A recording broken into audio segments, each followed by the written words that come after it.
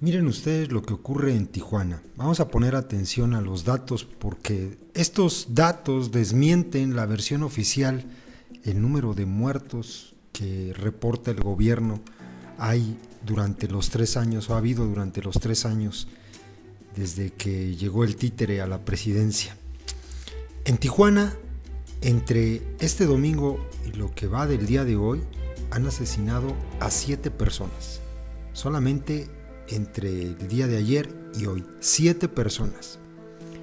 En Tijuana, en lo que va del año, se reportan 335 homicidios. 335. Si nosotros consideramos que han transcurrido 151 días, entonces estamos hablando de 2.21 homicidios por día. Suponiendo que la tendencia permanezca hasta final de año, porque es lo que parece que va a ocurrir, 2.21 por 365 días del año dan un total de 809 homicidios. 809 homicidios solamente en una ciudad del país. Vamos a poner que sabemos que hay entidades, estados donde hay más de una ciudad conflictiva. Por ejemplo, pues no sé, Guerrero, Veracruz, Estado de México, y así nos podríamos seguir, Tamaulipas. Vamos a poner que en cada entidad del país eh, este promedio permanezca. Sabemos que es algo así como relativo, pero multipliquen ustedes 809 homicidios por año por 31 estados me salen 25 mil. 25 mil asesinatos. ¿Se dan cuenta cómo las cifras están maquilladas?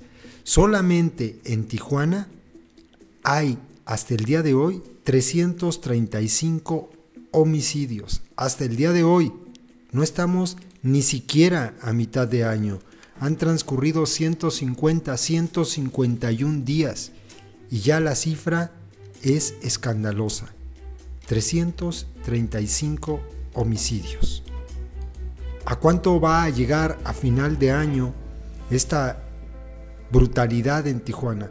La violencia ha repuntado allá desde hace algunos meses, obviamente no desde principio de año, ya meses atrás. ¿A cuánto va a llegar? Sabemos también que en Baja California no solamente Tijuana es conflictivo, Mexicali, por ejemplo, también tiene índices de violencia semejantes a los de Tijuana. En, general, pues el Estado está patas para arriba. Y dicen las autoridades que la violencia disminuye. Pues bueno, Tijuana es el ejemplo de que mienten, maquillan las cifras. Estos datos los da a conocer el semanario Z, que es uno de los más acertados en cuanto al número de víctimas que se reportan en México y que siempre tiene una diferencia muy notable con las cifras oficiales, las que reportan los asquerosos del gobierno. Es una tragedia lo que se vive en el país y el que no lo quiera ver, pues simplemente será porque está ciego o porque no quiere.